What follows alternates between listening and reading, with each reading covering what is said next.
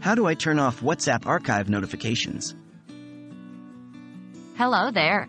Today, we're going to tackle an important topic how to turn off WhatsApp archive notifications. This is particularly useful when you want to keep your WhatsApp notification bar less cluttered. Let's dive into it and remember, the important steps are highlighted in bold. What are archive notifications?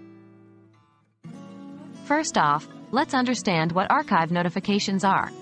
These are alerts you get from WhatsApp when an archived chat becomes active again, i.e., when a new message arrives in an archived conversation. Although they can be helpful, they can also create unnecessary noise if you have many archived conversations. Accessing WhatsApp settings. The first step in turning off these notifications is to access the WhatsApp settings. So, open your WhatsApp application, tap on the three-dot menu icon at the top right corner of your screen, and select Settings. Navigating to notifications. Next, you need to navigate to the Notifications section. To do this, tap on the Notifications option in the Settings menu.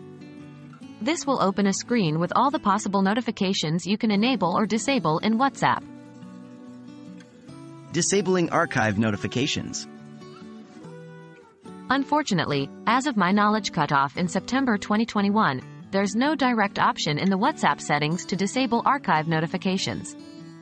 If this option is still not available, your best bet would be to manage your archive effectively, i.e., avoid archiving chats that can potentially be active. And that's it.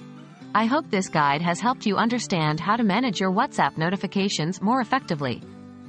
Remember, the goal is to have a clutter-free and efficient messaging experience. Enjoy your new peace of mind and happy messaging.